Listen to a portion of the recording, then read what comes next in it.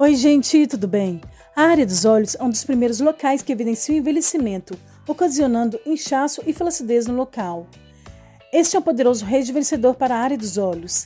A receita levanta pálpebra caída, aparência cansada e bolsa abaixo dos olhos.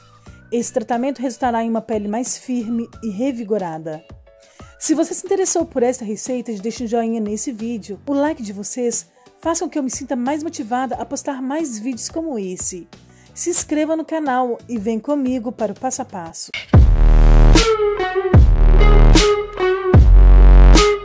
Anote os ingredientes.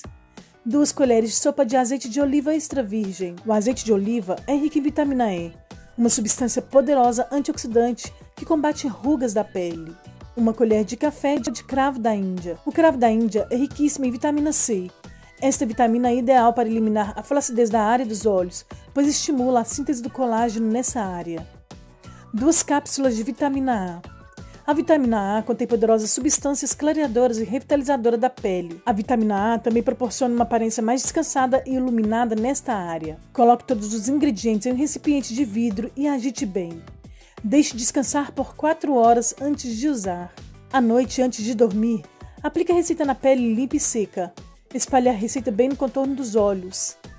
Esse rejuvenescedor também pode ser aplicado na área do rosto, pois é muito eficaz para reduzir rugas e flacidez dessa área.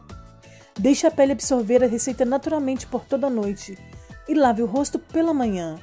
Repita esse tratamento diariamente até obter os resultados desejados. Se você gostou da dica de hoje, não se esqueça de deixar seu like, se inscreva no canal e compartilhe esse vídeo com amigos.